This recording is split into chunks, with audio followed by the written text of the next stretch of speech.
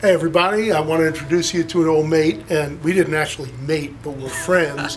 This is my buddy Loni Spector, and Loni puts on the AMP show in LA, and that's coming up when? That's coming up October 6th and 7th at the uh, Airtel Plaza Hotel. And uh, oh, yeah, there's a website www.ampshow.com. And uh, it'll be the eighth annual show. We're actually changed the name for this show. It's called the LA Amp and Custom Guitar Show. So you might want to Cool. come down there because there'll be right. like really some high-end, very cool guitars and amps and stuff. And this is one that you built here, that's a lap dance, Yeah, this right? is me. I have my own Like Gretsch type pickups here, Yeah, TV Jones? it's got TV that? Jones Filtertrons and uh, solid uh, rosewood neck, and uh, yeah, I'd like putting guitars together, you know, and uh, you know we go back a long way since like the very beginning, just about. I knew you when neither of us had gray hair. Yeah, or I had, or I had hair. Well, I'm working on it too, so. I have a, a, a Norm's rare guitar story. I don't know if you remember this, but way back, probably about 25 years ago, I went into Comer's House of Music at Reseda, and and up on the wall, hanging up on the wall, was an all gold Les Paul. Stephen Sherman Way. Yeah, all gold Les Paul. And so the guy working there, I go, how much is that? The guy goes, six hundred dollars.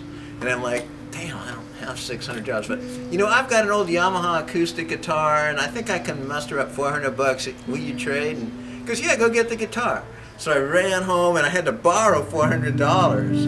I go back there and I look on the wall and the guitar is gone. And the guy goes, Oh yeah, well after you left I called up Norman and he came and he just gave me six hundred dollars for the guitar.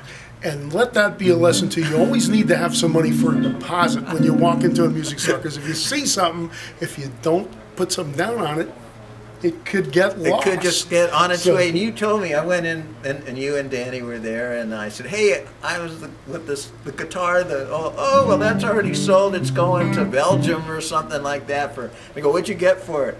Oh, twenty two hundred dollars. I go, damn. What would that fifty six all gold Les Paul be worth now? a lot more money. Even at the twenty-two hundred dollars, it Yeah. would be worth ten to twenty times. that. Right, right. So there you go. So uh, I'm working on a uh, time machine. Do you have any money on you now, just in case you see anything, or what? Yeah, and I got plastic now. I didn't have Oh, plastic. plastic. Okay, yeah. There wasn't plastic at that time. I don't think so. There wasn't know. the internet. There was nothing. There was just guys like. We're a couple dinosaurs. We predate everything. but back in the day, you had to have some money in your pocket to leave a deposit. Now you can do it with plastic. There's a lot of ways you could do it. Yeah, yeah.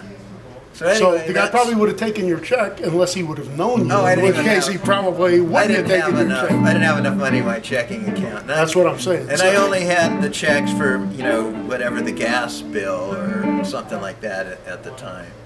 But those Well, were those were different times. Those were different times, and now we're in these times. But speaking of this time and the future time, we got the LA Amp Show. So you guys got to be there or be square. There's going to be uh, some really cool stuff happening there. Great amps, great players, great guitars. stuff, great guitars. Hey, all kinds of fun things happening. All Loni Spector, my old buddy. What do you say, Loni? Hey man, thank you so much. All right. Peace. Norm's Rare Guitars videos, LA Amp Show. Norman's Rare Guitar is my favorite store in the world. There it is.